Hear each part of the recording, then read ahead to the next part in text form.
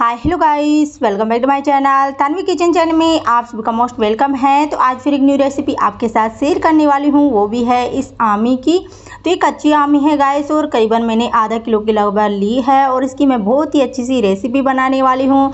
चटपटी सी और खट्टी मीठी, और आपके मुँह में पानी ला देने वाली, और बहुत ही अच्छे से ठंडक देने वाली। तो ये बहुत ही अच्छी बन के रेडी होगी गाइस इसके लिए आपको कुछ नहीं लेना है। आपको लेना है कच्ची आमी। तो ये मैंने कच्ची आमी ली है। इसको आप क्या नाम से बोलते हो? अपनी जगह किस किस नाम से बोला जाता है? ये भी कमेंट करके ज़रूर बताइएगा। हमारी तरफ़ तो राजस्थान में इसको कच्ची कैरी बोला जाता है। आपकी तरफ़ क्या बोलते हैं? ये भी कमेंट करके ज़रूर बताइएगा। तो गैस इसकी बहुत ही अच्छी सी मैं रेसिपी बनाने वाली हूँ। तो उसके लिए आपको क्या करना है? सबसे पहले तो आपको इन कच्ची केरी को अच्छे से धो लेना है और धोने के बाद में जो इसका ऊपर का पार्ट है, छिलका है, उसको हटा देना है। अच्छे से छील देना है। तो गैस इसकी रेसिपी ना बहुत ही टेस्टी बन के रहती है। कई रेसिपी जिसकी बनती है, जैसे अचार हो गया, चटनी हो गई, कई रेसिपीज़ इसकी बनाई जाती है, लेकिन ना तो हम आज अचार बनाने वाले हैं, ना इसकी कोई चटनी बनाने वाले हैं, ना कोई सब्ज़ी बनाने वाले हैं। तो इसके हम बनाने वाले क्या हैं, ये तो आप वीडियो में देखिएगा, और बहुत ही टेस्टी बनने वाली हो, और आप महीनों भर तक इसको स्टोर करके भी रख सकते हो। बहुत ही टेस्टी बनती है, और आपके मुँह में जाएगी ना तो बहुत ही अच्छा सा टेस्ट आपको देगी आप खुश हो जाओगे। तो गैस इसका अंदर का पार्ट है ना, बहुत ज़्यादा ही सॉफ्ट था तो इसको मेरे को क्या कुछ भी नहीं करना पड़ा। वैसे इसको कट करना पड़ा, अंदर का जो इसका गुटली यानी सीड्स बोल दीजिए तो उसको निकाल दिया है मैंने। और एक छोटे छोटे मैं टुकड़े करने वाली हूँ। तो आपके पास जैसे आपके पास कच्ची आमी हो उसका हार्ड वाला पार्ट है तो उसके हार्ड वाले पार्ट को हटा दीजिएगा और ऊपर के पार्ट को आप निकाल लीजिएगा। तो जैसा आपको ठीक लगे वैसे करिएगा गैस तो कच्ची आमी ही लेना है, उसी से आपको चटपटा टेस्ट आने वाला है। तो गैस मैंने कच्ची आमियाँ करीबन आधा किलो के लगभग ली है। आप कितनी क्वांटिटी में इसको बनाना चाहते हो उसके अकॉर्डिंग दे, देख लीजिएगा आप कच्ची आमी तो ये मैं इसके ऊपर का छिलका तो निकाल ही लिया है और जो अब इसके अंदर की सीड्स है उसको भी निकाल के और इसको बारीक बारीक मैं कट करने वाली हूँ। तो गैस इसकी रेसिपी है ना बहुत ही टेस्टी बनती है बहुत ही यम्मी बनती है और आप इस रेसिपी के हो जाओगे दीवाने और आप भी बहुत सारी ढेर सारी बना के और फ्रिज में रखोगे। और जब भी आपका मन करेगा, झट से आप ये खा लोगे, बहुत ही अच्छा सा आपको लगेगा, ठंडा ठंडा कूल कूल चटपटा सा, बहुत ही ज़्यादा आपको मज़ा आने वाला है। तो पूरी मैं इस तरह से कच्ची आमियों को करने वाली हूँ कट। तो देख सकते हो गैस मैंने पूरी आमियों को कट कर लिया है और साथ ही मैंने लिया है मैंने हरा हरा पुदीना। तो पुदीना ज़रूर लीजिएगा, इससे बहुत ही अच्छा टेस्ट आता है। यदि आपको पुदीना ना पसंद हो तो स्किप कर दीजिएगा। अब लेंगे हम एक जार और उसमें हम डालेंगे छोटे छोटे क्यूब्स में हमने कच्ची आमी कट की है उनको हम डाल देंगे और पुदीना इसमें हम डालेंगे। तो पुदीना आपको पसंद ना हो तो स्किप कर दीजिएगा, लेकिन ये बहुत ही अच्छा सा टेस्ट लेके आता है और फ्रेशनेस आपको फील होती है। तो गैस ये मेरा जार है ना, मैंने इसमें काला नमक अभी पीसा था तो उसी जार को मैंने यूज़ कर लिया। आप मत सोचिएगा कि ये गंदा है तो ये गंदा नहीं था, इसमें मैंने जैसे काला नमक था, वो मैंने पीसा था। अब ये बिल्कुल बारीक साइज़ का मैंने प्यूरी बना लिया है और मैं सीधा इसको डाल दूँगी नॉन स्टिक कढ़ाई में। तो इसमें ना तो घी लगेगा, ना तेल लगेगा, हल्का सा आपको बाद में लास्ट में लगेगा। इसमें कुछ भी नहीं लगता है ऑयल ऑयल कुछ नहीं लगता है और ना ही घी लगता है। और सिंपली आपको सीधा इसमें डाल देना है। पूरा प्यूरी जो इसमें बनाया है पूरा मैं इसमें डाल दे रही हूँ। तो करीबन आधा किलो की लगभग मैंने कच्ची आमी ली थी तो उसी का मैं बना रही हूँ। आप कितने क्वांटिटी में बनाना चाहती हूँ, उससे आप अपने अकॉर्डिंग देख लीजिएगा। और आप बनाइएगा नॉन कढ़ाई में। इससे क्या होगा कि नीचे लगता नहीं है तले में। यदि आपके पास नॉन कढ़ाई ना हो तो मोटा तला का कोई भी बर्तन ले लीजिएगा।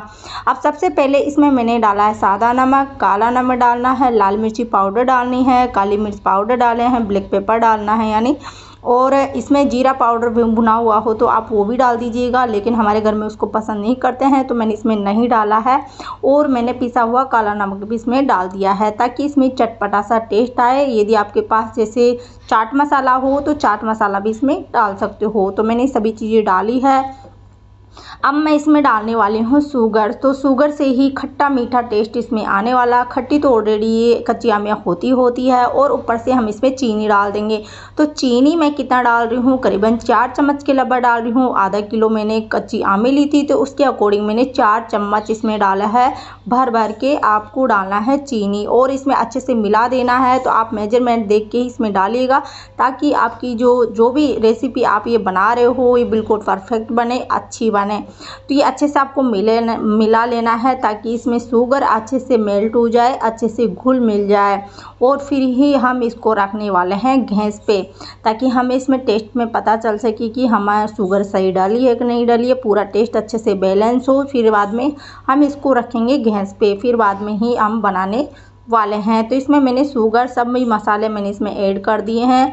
तो जो आपको चीज़ ना पसंद हो ना, उसको स्किप कर सकते हो। तो अब मैंने इंडक्शन पे रख के मैं इसको पका रही हूँ। आप चाहे गैस पे पकाइए इंडक्शन पे पकाइए। लेकिन आपको फ्लेम रखनी है स्लो टू मीडियम पे रखनी है। तो ये मैं चलाती जा रही हूँ। तो इसको कब तक चलाना है? आपको जैसे इसकी कंसिस्टेंसी बिल्कुल ऐसी हो जाए कि ये अलग ही दिखने लगेगा। बिल्कुल सूख जाए, इसका पानी सूख जाए जब तक इसको अच्छे से चलाना है और बीच में बिल्कुल भी नहीं छोड़ना है। यदि आप इसको बीच में छोड़ दोगे तो आपका नीचे लग सकता है और टेस्ट इसका ख़राब हो सकता है। इस बात का भी ध्यान रखिएगा। अब मैं इसमें डालने वाली हूँ चिली फ्लेक्स तो चिली फ्लेक्स में जैसे आपके घर में होते होंगे, जैसे आप पिज़्ज़ा लाते हो तो उसके साथ भी आते हैं। तो मैं ऐसे पाउचेज एक्स्ट्रा में रखती हूँ ताकि कोई भी रेसिपीज़ में मेरे काम आ जाए। तो इस तरह से आप रखते हो यदि आप घर में इस तरह से लाते हो ख़रीद के तो ऐसे भी ला सकते हो। लेकिन मैं पिज़्ज़ा के साथ जो आते हैं ना, वो पाउचेज मैं रखती हूँ साइड में सेविंग करके रखती हूँ, ताकि किसी भी रेसिपीज़ में काम आ जाए। तो इस तरह से एक स्मार्ट महिला बन सकते हो। कई चीज़ें हम खुद ही कई चीज़ों के साथ आते हैं तो उसको आप ऑर्गेनाइज करके रखोगे ना तो कई रेसिपीज़ में काम आता है। तो गैस ये कुछ इस तरह का इसका कलर नज़र आ रहा है, लेकिन ये इस तरह से अच्छा नहीं लग रहा था। तो इसलिए मैंने इसमें डाला है थोड़ा सा फ़ूड कलर ग्रीन वाला फ़ूड कलर इसमें डाला है। आप चाहो तो मत डालिएगा, इससे कोई टेस्ट तो आता नहीं है, लेकिन मैं वीडियो में अच्छा लगे, उसके लिए मैं इसमें डाल रही हूँ ग्रीन वाला फ़ूड कलर ताकि कच्ची आमी जैसा इसका कलर दिखे तो इसीलिए मैंने इसमें डाला है। ऐसा कलर इसका होता नहीं है, लेकिन इस तरह से कलर लाने के लिए मैंने इसमें डाला है। तो ये फ़ूड कलर इसमें डाल दिया है, बिल्कुल ग्रीन ग्रीन सा ही हो गया है, और ये इस तरह की कंसिस्टेंसी इसकी हो जानी चाहिए, और जैसे ये इस तरह से हो जाना चाहिए, बिल्कुल, और थिकनेस में आ जाना चाहिए, और ये इसको हम पकाए ना तो नीचे से इसके वाइट वाइट सा दिखने लगे। तो इसका मतलब समझिए कि हमारा बन चुका है, और फिर आपको लेनी है एक थाली। तो मैंने एक थाली ली है, चाहे प्लेट ले लीजिएगा, और इसमें थोड़ा सा घी मैंने इसे लगा दिया है, और इसे ब्रश से अच्छे से चारों ओर इसको लगा देना है, और फिर बाद में जो आपने बनाया है ना, पूरा इसमें डाल देना है। तो इसको डाल देंगे और फिर बाद में पूरी इसको एक थाली में मैं फैला लूँगी। फैला लेंगे तो आप ज़्यादा क्वांटिटी में बना रहे हो ना तो आप जैसा आपको ठीक लगे वैसे रखिएगा। मैं अच्छे से इसमें ज़्यादा क्वांटिटी में है नहीं तो पूरा अच्छे से पतली लेयर में फैल जाएगा, यदि मोटी लेयर में फैलेगा तो इसको सूखने में ज़्यादा टाइम लगेगा। दो दिन भी लग सकते हैं, लेकिन ये पतली लेयर में है, एक में सूख के रेडी हो जाएगा, एक दिन में। तो मैं इसको धूप में दिखा दूँगी। आप सभी को पता है इस टाइम धूप खूब अच्छी पड़ रही है तो धूप में रखिएगा इसको। और यदि धूप में नहीं रखना चाहते हो तो आप पूरे दिन के लिए फ़ैन में भी इसको रख सकते हो, ये सूख जाएगी आराम से। तो गाय देख सकते हो, ये हमारी सूख चुकी है और अच्छे से सूख गई है। और ये हाथ लगा के मैं देख रही हूँ तो ये बिल्कुल अच्छे से सूख गई है और अब मैं नाइफ से कट कर लूँगी। तो जैसे भी आप कट करना चाह रहे हो चाहे स्लाइस में पतली पतली स्लाइस में जैसे पिज़्ज़ा वाली स्लाइस नहीं आती उस तरह से भी कट कर सकते हो। लेकिन मैंने स्लाइस कट करके इस तरह से गई थी बीच में मेरे बच्चे ने आके खा लिया और पूरा ख़राब कर दिया। तो मैंने सोचा आपको बताना ज़रूरी है और फिर मैंने बारीक बारीक कट किया और फिर इसकी मैंने कैंडीज बना ली। इस तरह से कैंडीज बना लेनी है इस तरह से कैंडीज बना लेंगे ना तो क्या होगा जब भी, आपका थोड़ा बहुत खाने का मन करे ऐसे नहीं कि आप ढेर सारा लो ऐसा तो करता नहीं है। तो आप कैंडीज बना लीजिएगा या पतले पतले स्लाइस में निकाल लीजिएगा तो जैसा आपको ठीक लगे वैसे करिएगा। मैं कैंडीज बना के रख रही हूँ, ताकि जब भी हम मन करे कुछ खाने का, खट्टा मीठा खाने का मन करे तो तुरंत हम इस तरह से एक कैंडी ले उठा लेंगे और खा लेंगे। इस तरह से इसलिए मैंने कैंडीज के रूप में बनाई है तो सभी की मैंने इस तरह से कैंडीज बना ली है, लेकिन ये थोड़ी चिपचिपी सी हो रही है। तो इसके लिए आपको क्या करना है, उसके लिए मैं आगे बताती हूँ। तो एक बाउल में इनको सभी कैंडीज को मैं निकाल ले रही हूँ। तो देख सकते हो गैस ये बाउल में मैंने पूरी कैंडी डाल दी है और मैं इसमें क्या ऐड करने वाली हूँ ताकि इसका चिपचिपासा ना रहे। चिपचिपासा रहता है तो स्टिकी स्टिकी लगती है और इसके लिए मैं कुछ नहीं करने वाली, ऊपर इसमें डालने वाली हूँ शुगर पाउडर यानी चीनी का पाउडर मैंने पीस के इसके ऊपर डाल दिया। तो इससे होगा क्या? ये ड्राई ड्राई भी हो जाएगी और फिर बाद में इसको हम रखेंगे ना तो इससे ऊपर से ये कोट भी हो जाएगी तो टेस्ट भी अच्छा आएगा और ड्राई भी हो जाएगी, चिपचिपी नहीं रहेगी। और फिर बाद में इसको रखना कैसे है? इसको रखना है आपको आपको फ्रिज में स्टोर करके रखना है। ऐसे नहीं रखना है। यदि आप बाहर रखोगे तो इसमें मॉइस्चर चला जाएगा। मॉइस्चर भी नहीं जाना चाहिए इसके अंदर। पानी वानी के हाथ आप मत लीजिएगा। मत डालिएगा। चम्मच डालिएगा तो सूखा डालिएगा। और ऐसे भी आप हाथ से कैंडी निकाल लीजिएगा। गीले हाथ आपके नहीं रहने चाहिए। मॉइस्चर चला जाता है ना तो पूरी कैंडी चिपचिपी बेकार सी हो जाती है। तो इस बात का ज़रूर ध्यान रखिएगा। और इसको फ्रीज में आप महीने भर तक, दो से तीन, चार महीने तक आराम से स्टोर करके रख सकते हो। जब भी आपका मन करे खाने का, तुरंत एक कैंडी उठा लीजिए। और खा लीजिए और आपको खाने में बड़ा ही मज़ा आने वाला, खट्टी मीठी चटपटी और अंदर से ठंडी ठंडी लगेगी।